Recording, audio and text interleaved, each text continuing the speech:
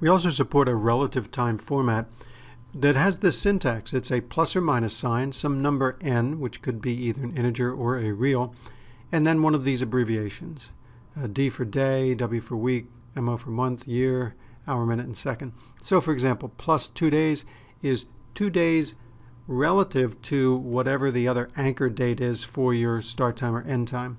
If you're using a ProcessBook trend, for example, or minus 1.5 hours is minus one and a half hours, plus 32 minutes, etc.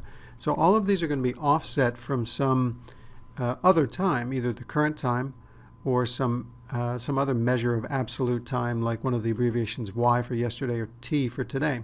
Let me demonstrate.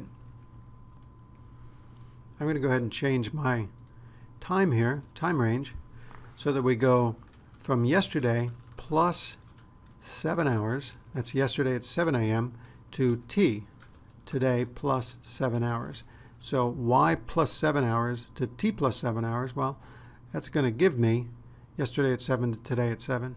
You notice the offset there, the plus 7 hours, that indicates it's going to be plus 7 hours from whatever that absolute time is.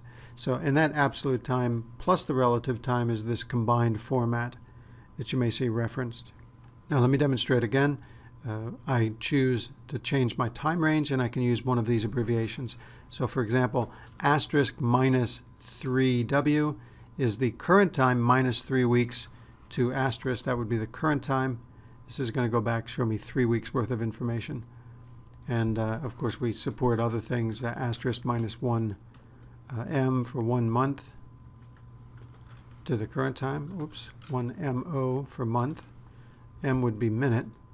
And it's going back, there we go, one month back from the 22nd back to the 22nd.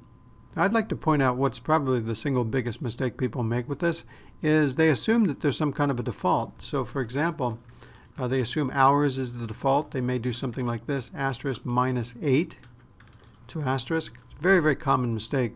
Uh, there is no default, so you're going to get an, an error when you try that. So just make sure you specify the proper time. Asterisk minus 8 hours, that gives me 8 hours back from the current time.